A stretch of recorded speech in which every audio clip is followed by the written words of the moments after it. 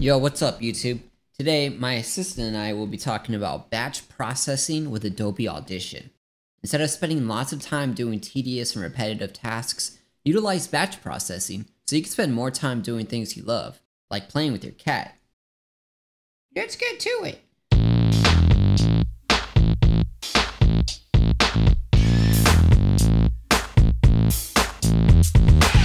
So now we're in Adobe Audition. We're going to start off by going to Window, Batch Process. And this little window right here is where we're going to work from. So we're going to drag and drop our media files from Finder right into here. Now that that's all inside, we can go to Export Settings. Today we're going to be formatting files at 16K at 16-bit. To do that, we're going to first start off.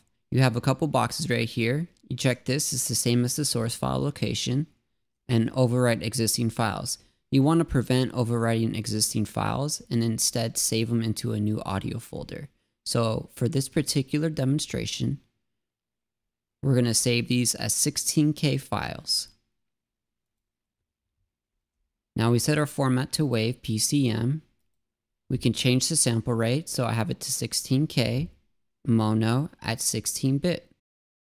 If you have an audio file that you're trying to remove metadata from, make sure this box is unclicked.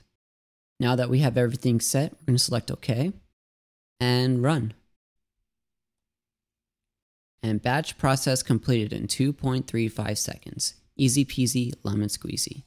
And then now we go into Finder, and here are our audio files at 16K. Perfect. Now let's say we want to normalize our audio files while also making them 16K. We select favorite right here and we can go to normalize to negative 3 dB. We go to our export settings, making sure everything's the same.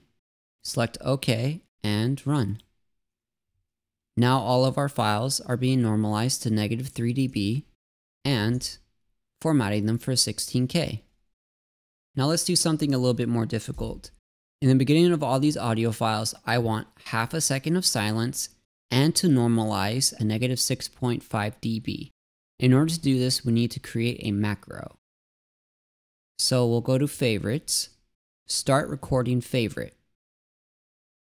Now we want to add half a second of silence. And then normalize the audio file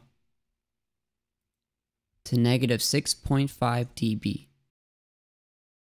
Now we go to favorites, stop recording favorite, and we'll name this 0.5 silence plus negative 6.5 dB normalize.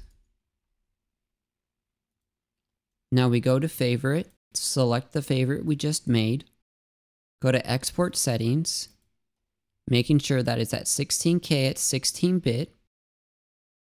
Select OK, and then now we run.